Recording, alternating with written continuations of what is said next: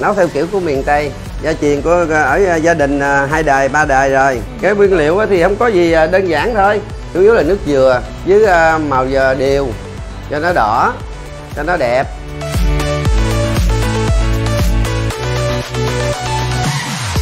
Một ký là hai trăm sáu. Nè, như còn xương vậy là một ký hai trăm sáu.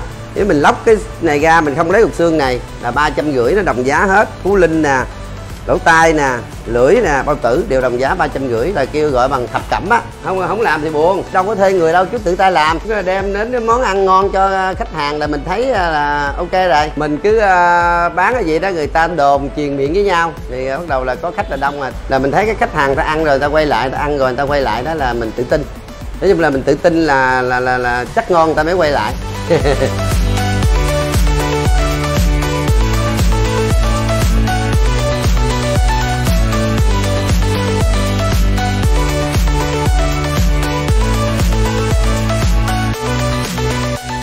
À, tên Tâm quê ở Kiên Giang. Chú bán giò heo phá lấu là món chánh kèm đó là bao tử nè tai nè rồi lưỡi heo nè phú linh heo nè là đều là phá lấu hết.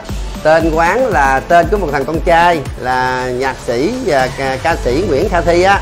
Thành ra mình đưa lên Sài Gòn để à, làm rồi lấy cái tên thương hiệu là lấy cái tên của nó luôn.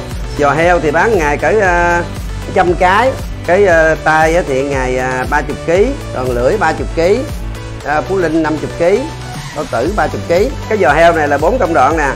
Đem về rửa nước sạch xong rồi vừa rửa là nước sôi bằng nước muối. Đó đầu cho nó đem ra ngoài chơi gáo nước, rồi bắt đầu mới bỏ vô khìa. Không có à, để niêm gì hết, chỉ là nước dừa với muối thôi. Khi mà nó chín được 80 phần trăm, còn 20 phần trăm để mà mình thành phẩm đó, mình phải đem qua caramel mình làm lại.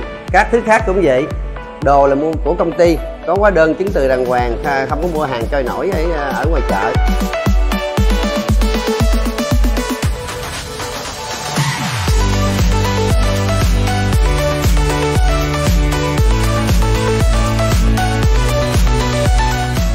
Mình làm hai loại. Mình làm một loại làm à, 3 tiếng rưỡi rồi 4 tiếng. Là 4 tiếng là cho người lớn tuổi còn à, 3 tiếng rưỡi hoặc 3 tiếng thì để cho mấy người nhậu. À, chú không có bán ăn tại chỗ chú bán mang về. Thấy khách ta cũng chuộng lắm. Nước dừa nó kìa sắc lại đó nó sánh lại cái mình đem ra mình làm nước sốt nước mãi rau gừng dưa cải chua tự làm. Tôi rất cảm ơn tất cả những uh, bà con anh em và bạn bè đã ủng hộ vừa qua trong cái lúc mà khai trương đó rất là khó khăn. Bây giờ thì cũng đâu vào đó nó ổn định là đắt rồi. Bây giờ cái số lượng khách à, ở ngoài là rất nhiều. Còn khách ủng hộ vừa qua là nhờ nhờ khách khách hàng quen ủng hộ nhiều, thành ra là mới duy trì được tới hôm nay rồi rất ờ, chân thành cảm ơn mọi người ạ à.